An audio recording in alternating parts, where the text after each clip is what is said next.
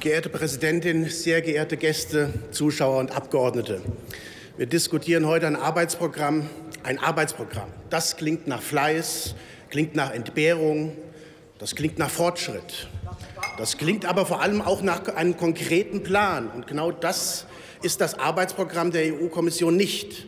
Es löst keine Probleme, nicht das italienische, nicht die Wirkungslosigkeit des EU-Türkei-Deals und nicht die praktische Nichtigkeit des Schengen- und Dublin-Abkommens.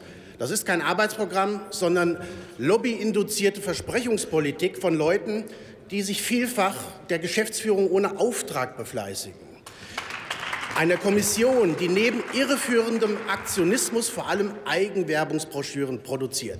Sie lesen dann, Zitat, der digitale Binnenmarkt hat den Europäern bereits einige Vorteile gebracht. Die Roaminggebühren wurden abgeschafft. Die Bürgerinnen und Bürger haben nun Zugang zu Film, Sport, Musik, Videospiel und E-Book-Abonnements etc. Und einen anderen Höhepunkt Brüsseler Bürgernähe haben wir letztes Jahr als Sonderbonus erfahren.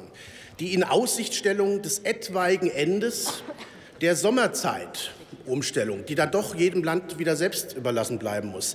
Das ist übrigens eine unfreiwillige, höchst unfreiwillige Reminiszenz daran, wie viele Anachronismen, also Fortschritt von vorgestern, hier mitgeschleppt wird. Denn die Zeitumstellung wurde erstmals von Deutschland und Österreich-Ungarn im Frühjahr 1916 eingeführt und dann auch noch von den Kriegsgegnern übernommen. Nächstes Beispiel. Die Investitionsoffensive, wieder militärisch, ja, Jargon, die Investitionsoffensive für Europa, der sogenannte Juncker-Plan, hat bereits zusätzliche Investitionen in Höhe von 344 Milliarden Euro generiert. Sie hat damit ihr ursprüngliches Ziel übertroffen und wird voraussichtlich 1,4 Millionen Arbeitsplätze schaffen.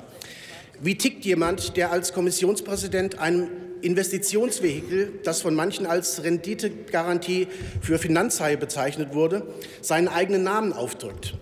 Das zeugt von Allmachtsfantasien einer freischwebenden Politikerkaste mit dem Motto, wenn es ernst wird, muss man lügen. Das ist in der Geschichte immer schiefgegangen. Und dann ist alles naturgemäß, nicht mal vernünftig validierbar. Zitat, die Angaben zu den tatsächlich angestoßenen Investitionen seien womöglich überhöht, teilt der EU-Rechnungshof diesen Dienstag mit. Laut Schätzung sind die zusätzlich mobilisierten Investitionen und der gigantische Hebel darum fraglich.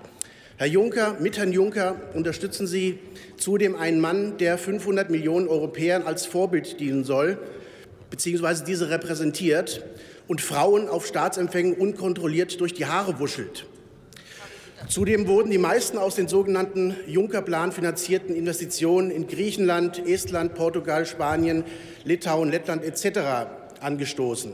Dies ist ein altes, altes, altes Muster, das äh, Vertreter von Zwergstaaten zur Zeit der Hobbycoiffeur aus Luxemburg bzw. Brüssel in eine verantwortungsvolle Position gehievt werden und von dort aus munter das Steuergeld anderer Leute verteilen.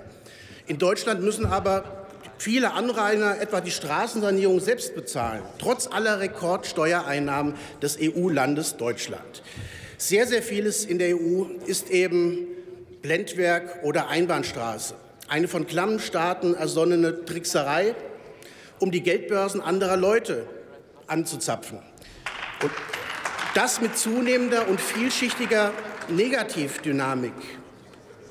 Dazu sage ich Ihnen eins ganz klar. Wir als AfD wollen Schluss machen mit unbewährtem Tischlein deck dich und all den Anachronismen, die immer wieder neu erfunden werden.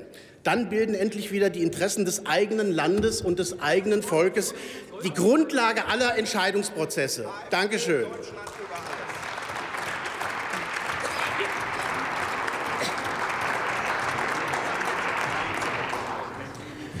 Das Wort hat der Kollege Gunter